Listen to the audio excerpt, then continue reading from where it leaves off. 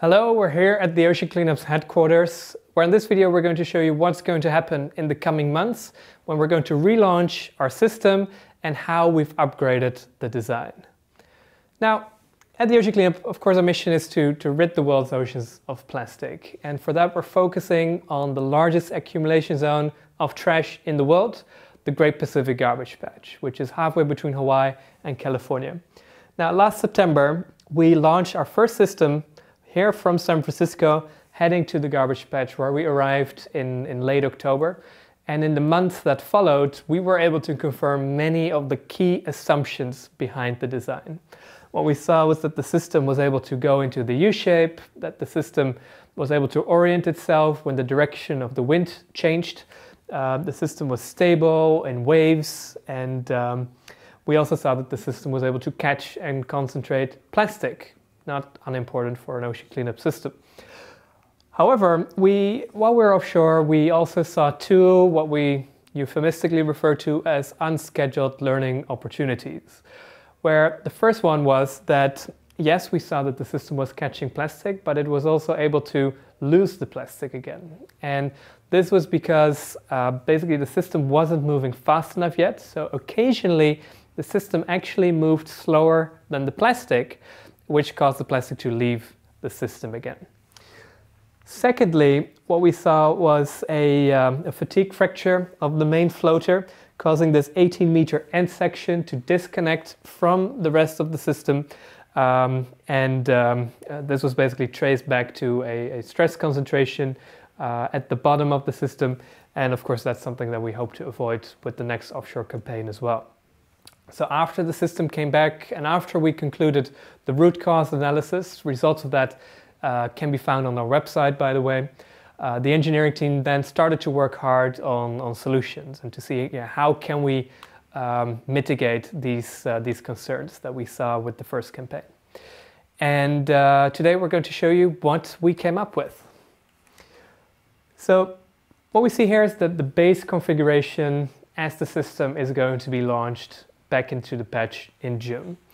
And the first thing you'll notice is that the screen isn't exactly uh, underneath the, the floater pipe anymore. It's slightly brought forward. And the reason for this is that we wanted to completely eliminate this rail connection that's at the bottom of the pipe uh, because that was the eventual cause of, of the fracture actually. So now we made this interface much easier, uh, just sling connections uh, to the screen and uh, this way we hope to avoid uh, having these stress concentration issues. Uh, a second thing that we'll be doing on that front is that we're removing these heavy stabilizer frames from the design. Um, these were there to prevent the system from toppling over because of these heavy electronics on the top of the pipes.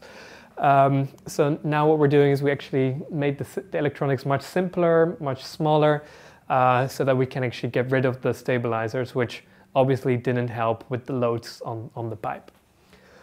So that was the structural issue. With regards to the speed issue, that was actually quite uh, tricky to, to develop a solution for that because you know, our initial instinct was, well, let's just put a big sail on the pipe. Uh, but the problem was there that uh, the loads would just be massive during storms. You would get roughly five tons of force on every meter of, uh, of sail onto, onto the system. And what would then happen is that the sail would cause the thing to topple over and you would need very complicated structures to keep it upright.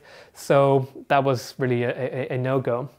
And then we thought, well, what if we do the following? What if we actually disconnect the sail from the floater itself and let the sails float by themselves?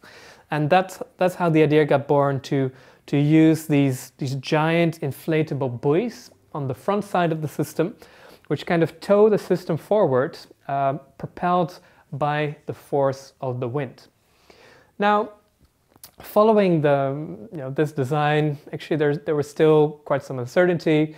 Uh, will we actually be able to go faster than the plastic always? Um, so we thought, well, you know, because this is such an important issue, uh, we need a plan B. And then this is what we came up with. So um, basically, you know, it doesn't really matter whether the system goes faster or slower than the plastic. The key is consistency. What you want is the system to either always go faster than the plastic or always go slower. But what you don't want is uh, it's sometimes going faster, sometimes going slower, which is what we saw during the first campaign uh, with Wilson.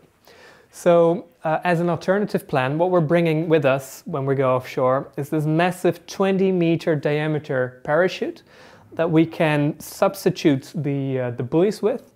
And this would actually turn the system around. And rather than always wanting to go faster, this uh, should allow us to actually always go slower than the plastic. So let the plastic float into the system like that. Um, so we'll be able to test both offshore and um, yeah, see which one works best, basically. Now, obviously, um, you know, we, we, yeah, we think these are very interesting mitigation approaches, but we're not 100% sure that these things are going to, to solve the issues that we know of. And on top of that, there may be other issues that we don't even know of yet, the, the unknown unknowns. So that's why it's so key that we go out there as soon as possible uh, so that we can put these things to the tests and continue learning as we go. Um, so for that, fortunately, we didn't just learn um, you know, technical things during the last offshore campaign, but we also uh, learned lessons when it comes to the process of innovation.